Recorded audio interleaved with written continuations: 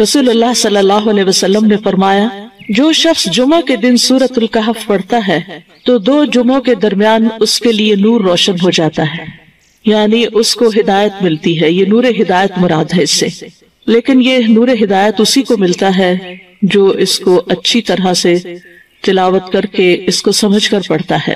اسی طرح رسول اللہ صلی اللہ علیہ وسلم نے فرمایا، جس نے سورت القحف کی تلاوت ایسے کی جیسے وہ نازل ہوئی تو یہ اس کے لیے قیامت کے دن اس کی اقامت گاہ سے مکہ تک نور کا سبب بنے گی۔ اور جس نے اس سورت کی آخری دس آیات پڑھی اور پھر دجال نکل آیا، تو اسے کوئی نقصان نہ پہنچا سکے گا۔ یہ سورت سکینت نازل کرنے والی سورت ہے۔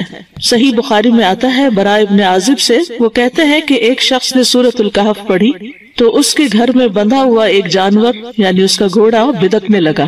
اس پر اس نے سلامتی کی دعا کی تو اچانک اس کے سر پر ایک ابر سایہ کیا ہوا تھا، یا جیسے ایک شینڈلیئر سا۔ اس نے نبی صلی اللہ علیہ وسلم سے اس کا ذکر کیا۔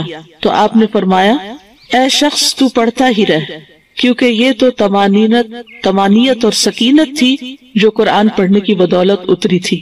ویسے تو قرآن مجید کا کوئی حصہ بھی پڑھا جائے تو اس سے اطمینان اور تسکین حاصل ہوتی ہے، لیکن خاص طور پر سورت القحف کیونکہ سورت القحف میں سات رحمتوں کا ذکر ہے اور یوں یہ ہفتے کے سات دنوں کے لیے کافی ہو جاتی ہیں۔ آیت نمبر سولہ میں آتا ہے، ینشر لکم ربکم من رحمتی ہی تمہارا رب تمہارے لیے اپنی کچھ رحمت کھول دے گا۔ آیت دس میں آتا ہے، ربنا آتنا من لدن کا رحمہ، اے ہمارے رب، ہمیں اپنے پاس سے کوئی رحمت عطا فرما۔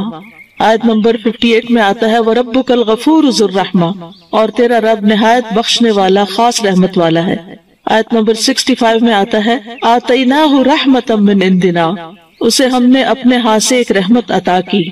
آیت 81 میں آتا ہے، وَأَقْرَبَ رَحْمَةِ اور جو شفقت میں زیادہ قریب ہو۔ آیت 82 میں آتا ہے رحمت من ربک۔ تیرے رب کی طرف سے رحمت کے لیے۔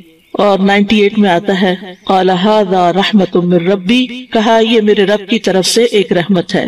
تو بہرحال یہ صورت خوشخبری بھی دیتی ہے، سکینت کا باعث بھی ہے، دجال کے فتنے سے بچانے والی بھی ہے۔ ہر جمعہ کو پڑھنے والے کے لیے نور ہدایت کا باعث ہے۔ اور خاص طور پر اگر کوئی اس صورت کی ابتدائی دس آیات یاد کر لے گا، تو وہ دجال کے فتنے سے محفوظ رہے گا۔ دجال کا فتنہ اس دنیا میں سب سے بڑا فتنہ ہے۔ اور اللہ سبحانہ تعالیٰ نے ہمیں ایک ایسی، یہ صورت ایک ایسی نعمت اور اپنی رحمت کے طور پر عطا کی ہے کہ جس کے ذریعے ہم اس فتنے سے بچ سکتے ہیں۔ سورت کا آغاز الحمدللہ سے ہوتا ہے۔ الحمدللہ الذی انزل علی عبدہ الکتاب ولم یجعل لہ عوجا۔ اللہ کا سب تعریف اللہ کے لیے ہے جس نے اپنے بندے پر کتاب نازل کی اور اس میں کوئی ٹیڑھ نہیں رکھی۔ تو گویا آغاز میں قرآن کا ذکر ہے۔ سورت کا اختتام بھی قرآن کے ذکر پر ہوا ہے۔ قل لو کان البحر مدادا لکلمات ربی لنفد البحر قبل ان تنفد کلمات ربی ولو جئنا بمثله مددا۔ تو چونکہ یہ سورت فتنے سے نجات کے لیے ہے، نہ صرف یہ کہ دجال کے، بلکہ اور بھی جو فتنے انسان کی زندگی میں آتے ہیں، جیسے مال کا فتنہ، قدرت اور غلبے کا فتنہ، علم کا فتنہ، دین کا فتنہ، تو اس اعتبار سے یہ صورت الکحف اپنے نام کے اعتبار سے بھی سمبولک ہے کہ کہف جو ہوتا ہے یہ کیو جو ہوتی ہے وہ پناہ لینے کے لیے ہوتی ہے اور ایسی جگہ پر جہاں اور کوئی بھی چیز انسان کو پناہ نہیں دے سکتی۔ تو اس لیے اس صورت کے اندر بہت سی دلچسپ چیزیں ہیں۔ صورت کا آغاز الحمدللہ سے ہے اور پھر اس قرآن قرآن مجید کا آغاز بھی الحمدللہ سے ہے۔ اور اس صورت میں الحمدللہ جو ہے وہ یعنی یہ صورت قرآن کے مڈل میں ہے۔ اور پھر قرآن کا دوسرا حصہ ایک طرح سے الحمدللہ سے شروع ہوتا ہے۔ اس کے علاوہ دیگر کچھ اور صورتیں بھی ہیں، جیسے سورت انعام ہے، سورت سبا ہے، سورت فاتر۔ یہ تمام صورتیں بھی الحمدللہ سے شروع ہوتی ہیں کہ سب تعریف اللہ سبحانہ تعالیٰ کے لیے ہے اور اللہ ہی کے لیے، اللہ ہی کی ذات وہ ذات ہے کہ جو انسان کو ہر طرح کی پریشانیوں اور ہر طرح کے فتنوں سے بچا سکتی ہے۔ اور اس کے لیے اس نے قرآن جیسی نعمت نازل فرما کر ہمارے لیے فتنوں سے بچنے کا بندوبست فرما دیا۔ فتنہ کیا چیز ہوتی ہے؟ فتنہ عربوں کے لفظ، عربی کے لفظ فتنہ سے ہے، جو آزمائش کرنے کے لیے آتا ہے۔ کسی چیز کا کھرا کھوٹا معلوم کرنے کے لیے۔ یعنی ایسی چیز کے جس کے ذریعے خیر اور شر میں انسان کا حال پتا چل جائے۔ کہ انسان کے اندر خیر ہے یا شر ہے۔ ابن العرابی کہتے ہیں کہ فتنے کے کئی معنی ہیں، جیسے آزمانا، مشقت، مال، اولاد، کفر، آپس کا اختلاف، اور آگ سے جلانے کے لیے بھی فتنے کا لفظ استعمال ہوتا ہے۔ اور یہ بھی کہا گیا ہے کہ فتنے سے مراد ظلم ہے۔ فتنہ کبھی اللہ سبحانہ تعالیٰ کی طرف سے آتا ہے بندے کو جانچنے کے لیے، جیسے کوئی تکلیف آ جاتی ہے مصیبت، کوئی بیماری، کوئی قتل و غارت، کوئی عذاب یا دیگر ناپسندیدہ چیزیں۔ اور اگر اللہ کی طرف سے ہو تو یہ کسی حکمت کی وجہ سے ہوتی ہیں، تاکہ بندے کو چھانٹ لیا جائے۔ اور کبھی انسان کے اپنے طرف سے بھی ہوتا ہے، انسان کے نفس کی طرف سے بھی ہوتا ہے۔ بہرحال، دنیا کی زندگی فتنوں اور آزمائشوں کا گھر ہے۔ اور دنیا میں جو جو وقت آخرت کے قریب آ رہا ہے، تو زیادہ سے زیادہ فتنے ہی آتے چلے جا رہے ہیں۔ معاویہ رضی اللہ عنہ کہتے ہیں کہ میں نے نبی صلی اللہ علیہ وسلم سے سنا، آپ فرما رہے تھے، دنیا میں صرف آزمائش اور فتنہ ہی باقی رہ گیا ہے۔ یعنی ایک فتنے کے بعد ایک اور فتنہ۔ تو چونکہ دنیا کی زندگی اوور آل ہی ایک امتحان ہے، تو اس میں جب سخت امتحان آ جاتے ہیں، تو انسان کے لیے بہت ضروری ہوتا ہے۔ کہ وہ کسی کہف کی طرف، کسی کیب کی طرف پناہ لے اور اپنے آپ کو ان فتنوں سے بچائے تاکہ اس کی آخرت محفوظ رہے۔ ابو سعید کہتے ہیں، رسول اللہ صلی اللہ علیہ وسلم نے فرمایا، وہ زمانہ قریب ہے جب مسلمان کا بہترین مال بکریاں ہوں گی، جن کو لے کر وہ پہاڑوں کی چوٹیوں اور بارش کے مقامات کی طرف نکل جائے گا اور فتنوں سے راہ فرار اختیار کر کے اپنے دین کو بچا لے گا۔ تو فتنے کے زمانے میں خاص طور پر اللہ تعالیٰ کے احکامات پر عمل کرنا اور اس پر استقامت اختیار کرنا بہت ضروری ہوتا ہے تاکہ انسان اپنی آخرت بچا سکے۔ فتنے کے دور میں دین پر عمل کرنے والے کے لیے اجر بھی بہت زیادہ ہے۔ آپ نے فرمایا، بلا شبہ تمہارے بعد صبر کے دن آنے والے ہیں۔ ان میں صبر کرنا ایسے ہوگا جیسے آگ کا انگارہ پکڑنا۔ ان لوگوں میں دین کے تقاضوں پہ عمل کرنے والے کو اس جیسے پچاس عمل کرنے والوں کے برابر ثواب ملے گا۔ یعنی فتنے کے دور میں اگر کوئی شخص اپنے دین کو تھام کے رکھتا ہے تو اس کے لیے اجر بھی بہت بڑا ہے۔ آپ نے یہ بھی فرمایا کہ فتنے کے دور میں عبادت کرنا میری طرف ہجرت کرنے کی طرح ہے۔ اور ایسے میں انسان اپنے دین کی حفاظت کرے اور اس کے لیے اگر کوئی ایک جگہ چھوڑنی پڑے یا کوئی اپنے اندر تبدیلی لانی پڑے تو وہ لانا ضروری ہے۔ اور فتنوں فتنوں سے پناہ بھی مانگنی چاہیے۔ نبی صلی اللہ علیہ وسلم نے فرمایا، اعوذ باللہ من الفتن۔ میں فتنوں سے اللہ کی پناہ لیتا ہوں۔ اور ایک اور جگہ پر آتا ہے کہ، اعوذ باللہ من سو الفتنی میں فتنے کی برائی سے اللہ کی پناہ لیتا ہوں۔ ایک اور دعا ہے، اللہم انا نعوذ بکا ان نرجع علی آقابنا او نفتنا ان دیننا۔ اے اللہ، ہم اس سے تیری پناہ لیتے ہیں کہ ہم الٹے پاؤں لوٹ جائیں یا اپنے دین کے بارے میں کسی فتنے میں مبتلا ہو جائیں۔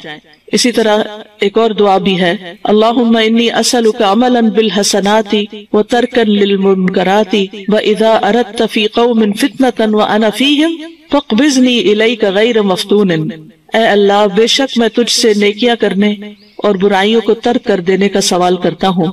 اور جب تو لوگوں کو فتنے میں مبتلا کرنا چاہے اور میں وہاں موجود ہوں، تو تو مجھے فتنے سے بچا کر اپنے پاس بلا لینا۔ تو بہرحال، انسان کے لیے فتنے تو کئی ایک ہو سکتے ہیں، لیکن سب سے بڑا فتنہ دین میں ہوتا ہے۔ اسی لیے اس صورت کے اندر جن چار فتنوں کا ذکر کیا گیا ہے، ان میں سب سے پہلے دین کے فتنے کی بات کی گئی ہے۔ بہرحال، اللہ تعالیٰ سے دعا ہے کہ وہ ہمیں اس صورت کو صحیح طور پر سمجھنے کی توفیق دے اور آج کل کے حالات میں جو سب سب لوگ پریشانی کا شکار ہیں، ان میں ان کے لیے ایک امید کا پیغام ہو۔ تو سب سے پہلے بسم اللہ الرحمن الرحیم، ہر صورت کے آغاز میں بسم اللہ ہوتی ہے اور بسم اللہ جو ہے، سوائے صورت التوبہ کے، لیکن صورت النمل میں بسم اللہ الرحمن الرحیم کی آیت آتی ہے، جس سے یہ پتہ چلتا ہے کہ قرآن مجید میں ایک سو چودہ بار بسم اللہ کا ذکر ہے۔ تو اس آیت کی اہمیت کے پیش نظر ہم تھوڑی سی بات اس کے اوپر کریں گے کہ قرآن مجید کے شروع میں یا تلاوت کے شروع میں بسم اللہ پڑھنا کیوں ضروری ہے؟ بسم اللہ کیا ہے؟ اللہ کے نام کے ساتھ جو بہت مہربان، بار بار رحم فرمانے والا ہے۔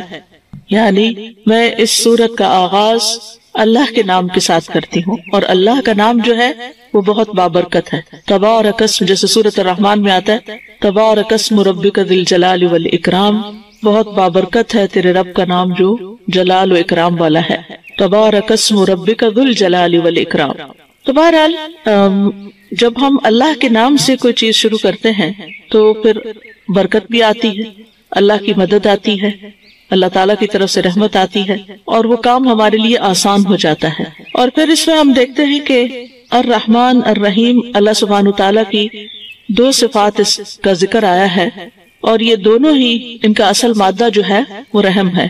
کہ اللہ کے نام کے ساتھ جو بہت مہربان، بہت رحم فرمانے والا ہے۔ تو اس سے یہ پتہ چلتا ہے کہ قرآن کا نزول جو ہے یہ سراسر اللہ کی رحمت ہے۔ اور قرآن پڑھنے کی توفیق جو ہوتی ہے انسان کو۔ یہ بھی سراسر اللہ سبحانہ تعالیٰ کی رحمت سے ہوتا ہے۔ جب تک اس کی رحمت نہ ہو، تو ہم نہ قرآن کو پڑھ سکتے ہیں، نہ اس کو سمجھ سکتے ہیں۔ اور قرآن کا نزول جو ہے، یہ بھی سراسر اللہ سبحانہ تعالیٰ کی رحمت ہی کی مینیفسٹیشن ہے۔ الرحمن، علم القرآن، کہ رحمان ہے جس نے قرآن کی تعلیم دی ہے۔ تو اس سے، اس میں ایک بہت اہم نقطہ یہ بھی ہے کہ جب انسان علم سیکھے یا سکھائے، تو اسے اللہ کی رحمت طلب بھی کرنی چاہیے اور دوسروں کے ساتھ بھی مہربانی کا سلوک کرنا چاہیے۔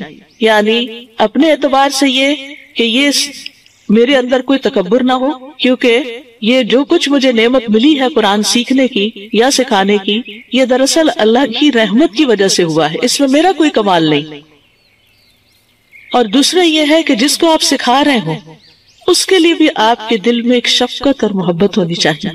نبی صلی اللہ علیہ وسلم کے ساتھ لوگوں نے جیسا بھی سلوک کیا، مکہ کے مشرقین ہوں یا مدینہ کے منافقین ہوں، لیکن آپ نے ہمیشہ صبر اور حوصلے سے کام لیا اور اپنا کام کرتے چلے گئے اور لوگوں کے ساتھ واقعی رحمت اللہ عالمین بن کر ان کے ساتھ بہترین سلوک کیا۔ تو ہمیں بھی، ہم میں سے جو بھی شخص قرآن کے ساتھ متعلق ہو، اسے چاہیے کہ وہ لوگوں کے ساتھ رحمت کا سلوک کرے، مہربانی کا سلوک کرے۔ امام شافی کے ایک شاگرد تھے مزنی، تو وہ اپنے ساتھ بہت سخت تھے۔ جہاں تک سیلف ڈسپلن کا تعلق تھا تو بہت ہی یعنی تمام ان کے شاگردوں میں سے بہت سیلف ڈسپلن کے مالک اور اپنے اوپر سختی کرنے والے ہر معاملے میں۔ لیکن جب وہ لوگوں کے ساتھ معاملہ کرتے تھے، اپنے طالب علموں کے ساتھ، اپنے شاگردوں کے ساتھ، تو ان کے ساتھ بہت شفقت کا سلوک کرتے تھے۔ اور خاص طور پر فتویٰ دینے میں بہت لوگوں کے لیے ایز تلاش کرتے تھے، مشکل نہیں پیدا کرتے تھے۔ اور نبی صلی اللہ علیہ وسلم کی تعلیم بھی یہی ہے کہ یس سے رو ولا تو آسانی پیدا کرو اور مشکل پیدا نہ کرو۔ تو لوگوں کو جب دین سکھایا جائے تو ان کے لیے آسانیاں پیدا کی جائیں۔ تو بسم اللہ الرحمن الرحیم، اللہ کے نام کے ساتھ ہم آغاز کر رہے ہیں۔ اس امید کے ساتھ کہ اللہ سبحانہ تعالیٰ ہم پر اپنی رحمت فرمائے گا اور اپنی مہربانیاں ہم پر عام کرے گا دنیا میں بھی اور آخرت میں بھی۔ پھر فرمایا، پہلی آیت ہے الحمد للہ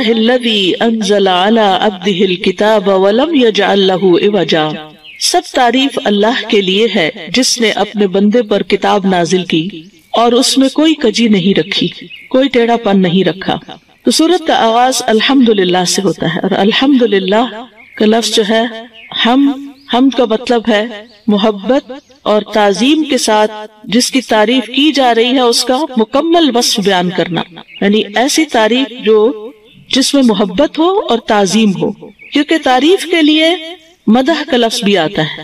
اور ضروری نہیں ہوتا کہ مدح کے اندر واقعی کسی کا کسی کے لیے محبت بھی ہو اور تعظیم بھی ہو۔ بعض اوقات وہ صرف چاپلوسی ہوتی ہے یا صرف خوش آمدید ہوتی ہے، خوش آمد ہوتی ہے تاکہ اس سے کوئی بینیفٹس حاصل کیے جا سکیں۔ لیکن ہم کے اندر واقعی حقیقی محبت ہوتی ہے اور محبت کی بنا پہ تعریف کی جاتی ہے۔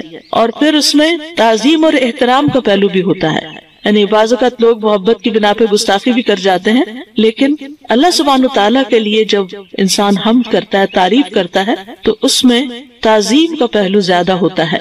اور پھر یہ ہے کہ اسی طرح شکر کا لفظ بھی استعمال کیا جاتا ہے اور شکر میں وہ تعریف ہوتی ہے جب کوئی ہم پر احسان کرتا ہے۔ لیکن اللہ سبحانہ تعالیٰ تو وما بکم من نعمت فمن اللہ، جتنی بھی نعمتیں ہمارے پاس ہیں، وہ سب کی سب اللہ سبحانہ تعالیٰ کی طرف سے ہیں۔ اور اس اس بنا پر کہ اللہ سبحانہ تعالیٰ اپنی ذات، اپنی صفات، اپنے افعال میں کامل ہے تو تعریف اللہ ہی کی ہے۔ جہاں تک بندوں کی تعریف کا تعلق ہے، تو بندے تعریف ڈیزرو نہیں کرتے، کیونکہ بندے جو ہیں، ان میں کمال نہیں ہے۔ اگر کوئی ایک کام اچھا کریں گے تو دس اس میں غلطیاں بھی ہوں گی یعنی اگر کوئی مثلا نیکی کا کام کرتا ہے، کوئی مسئلہ صدقہ خیرات کر رہا ہے، تو ہم اس بنا پر کہ یہ بڑا سخی ہے، اس کی تعریف شروع کر دیتے ہیں۔ لیکن ہمیں نہیں پتا کہ اس نے وہ صدقہ کس نیت کے ساتھ کیا ہے۔ اور وہ اس کا وہ صدقہ قبول بھی ہوا یا نہیں قبول ہوا۔ یا یہ کہ صدقہ کرنے کے بعد اسے کوئی احسان جتایا ہے، یا اس نے دوسرے کو کوئی دکھ دیا ہے۔ تو اب ہم تو صرف ایک ظاہری صورت دیکھ رہے ہیں کہ فلاں نے اتنا اتنا لوگوں میں تقسیم کیا یا بانٹا یا دیا یا اللہ کی راہ میں دیا، لیکن یہ کامل وصف نہیں ہے اس کا۔ اس کے اندر اس کی نیت کی خرابی بھی ہو سکتی ہے اور اس میں اذیت بھی ہو سکتی ہے یا کوئی اور مشکل بھی آ سکتی ہے۔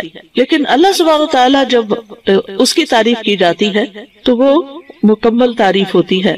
تو الحمد للہ تعریف اللہ کے لیے ہے۔ یہ جو لام ہے للہ میں یہ لام جو ہے، یہ اختصاص کا بھی ہے اور استحقاق کا بھی ہے۔ استحقاق کا مطلب یہ ہے کہ اللہ سبحانہ تعالیٰ ہی حقدار ہے اور حمد اللہ ہی کے ساتھ خاص ہے۔ بندوں کی حمد نہیں ہو سکتی۔ اسی لیے آپ دیکھیں نا کہ جب کسی شاعر کو کسی بادشاہ کی تعریف لکھنی ہوتی ہے تو اس کو کیا کہتے ہیں؟ مدھ اسی طرح رسول اللہ صلی اللہ علیہ وسلم کی جب نعت لکھی جاتی ہے تو اس کو بھی مدھر رسول کہتے ہیں۔ حمد الرسول نہیں کہتے۔ ہم صرف اللہ کے لیے۔ الحمد للہ کہ تعریف صرف اور صرف اللہ کے لیے ہے۔ اور پھر ال جو شروع میں آیا ہے، سب تعریف یعنی مکمل۔ ال استغراق کا یعنی استغراق نہیں کہ پوری طرح انکمپس کیا ہوا کہ مکمل تعریف جو ہے اور کامل تعریف جو ہے وہ اللہ سبحانہ تعالیٰ ہی کے لیے ہے۔ تو للہ ہی اللہ کے لیے خاص بھی ہے اور لان پہ وجہ سے اللہ کا اللہ تعالیٰ اس کا حقدار بھی ہے۔ یعنی حق اسی کا ہے کہ اس کی تعریف کی جائے، کیونکہ جو کچھ اس نے کیا ہے، اس کے علاوہ کسی اور نے نہیں کیا۔ اور پھر الحمدللہ کہنا جو ہے وہ میزان کو بھر دیتا ہے۔ جب حقیقی معنوں میں انسان کا دل شکر سے لبریز ہوتا ہے اور وہ اپنے عمل سے اللہ تعالیٰ کی طرف رغبت کرتا ہے اور اللہ کو راضی کرتا ہے۔ تو تبھی وہ حقیقی معنوں میں اس کی تعریف کر رہا ہوتا ہے۔ تو اللہ سبحانہ تعالیٰ کو اپنی تعریف بہت پسند ہے کیونکہ وہ تعریف کا حقدار ہے۔ بندے بھی اپنی تعریف پسند کرتے ہیں لیکن بہت دفعہ ایسا ہوتا ہے کہ انہوں نے جو کام نہیں کیا ہوتا اس میں بھی چاہتے ہیں۔ وہ یحبون یحمدو بما لم کہ اس میں بھی ان کی تعریف ہو جائے جو انہوں نے کیا ہی نہیں۔ اور اگر وہ چھوٹا سا بھی کوئی کام کرتے ہیں تو تعریف طلب کرتے ہیں اور تعریف سننا پسند کرتے ہیں، جبکہ بندے اس کے نہ حقدار ہیں اور نہ ہی ان کے لیے تعریف خاص ہے۔ تو اللہ سبحانہ تعالیٰ ہمیں یہاں پر یہ سکھا رہے ہیں کہ ہم جب اللہ کی کسی نعمت کا ذکر کریں تو ہم اس کی تعریف کے ساتھ کریں۔ جیسے اگر اپنی بھی کوئی، ہم پر بھی کوئی نعمت ہے ہماری ذات پر اللہ تعالیٰ کی، ہماری صحت اچھی ہے، ہمارا دماغ کام کرتا ہے، ہم دیکھ سکتے ہیں، ہم سن سکتے ہیں، ہم بول سکتے ہیں، تو ہمیں الحمدللہ کہہ کر بات شروع کرنی چاہیے۔ یا نعمت کا ذکر کرنے کے بعد الحمدللہ کہنا چاہیے۔ تو آغاز میں بھی کاموں کے اللہ کی تعریف ہونی چاہیے اور اختتام پر بھی ہونی چاہیے جب اللہ تعالیٰ توفیق دے کہ وہ کام مکمل ہو گیا ہے۔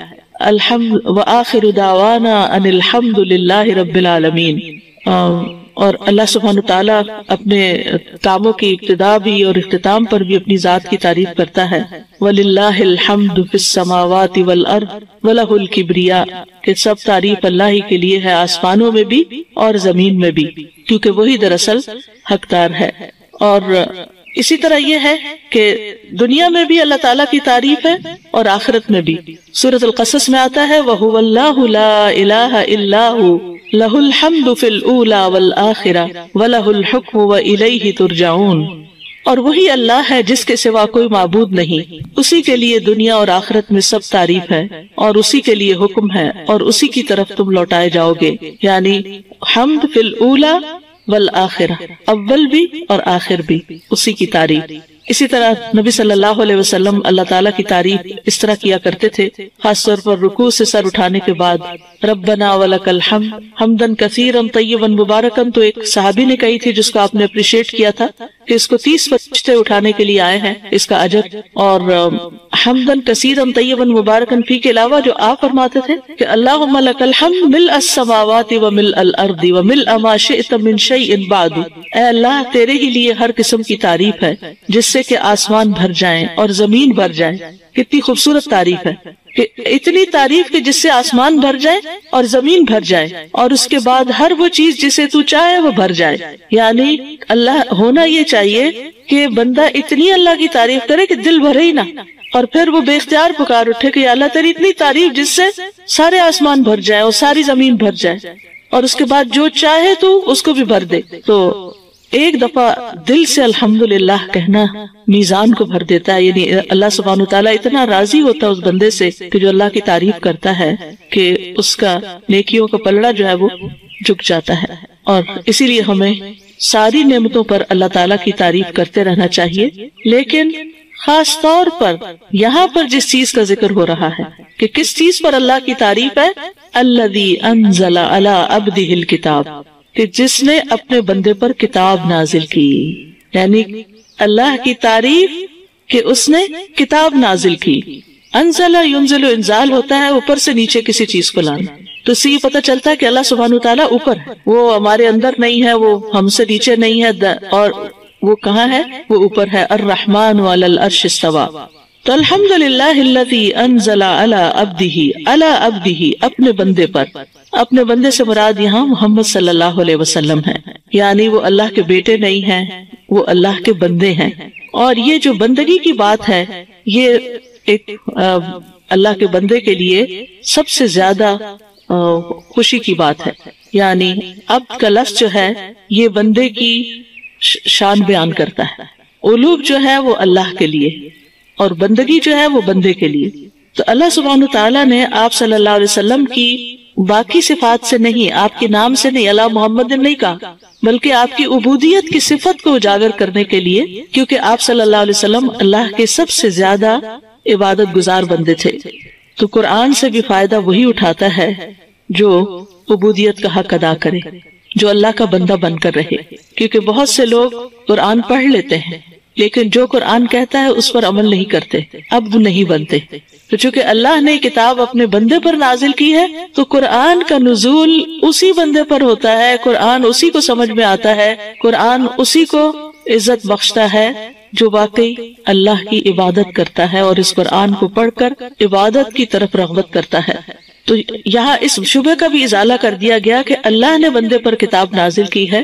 جبریل علیہ السلام نے نہیں اس کو بنایا یا انہوں نے نہیں گھڑا، یا نبی صلی اللہ علیہ وسلم نے خود سے اس کو نہیں گھڑا، بلکہ اللہ سبحانہ تعالیٰ کی طرف سے یہ کتاب آئی ہے۔ اور کتاب سے مراد تو قرآن مجید ہے، لیکن کتاب کا لفظ جو ہے یہ کتب سے ہے، جس کا مطلب ہوتا ہے جمع جمع کرنا۔ تو قرآن جو ہے یہ جمع کیا گیا ہے۔ حروف سے الفاظ الفاظ سے آیات، کلمات اور آیات اور آیات سے صورتیں، اور پھر نبی صلی اللہ علیہ وسلم نے جس طرح لکھوایا، اس طرح لکھا گیا تو آپ صلی اللہ علیہ وسلم کے پاس بہت سے رائٹر بھی تھے۔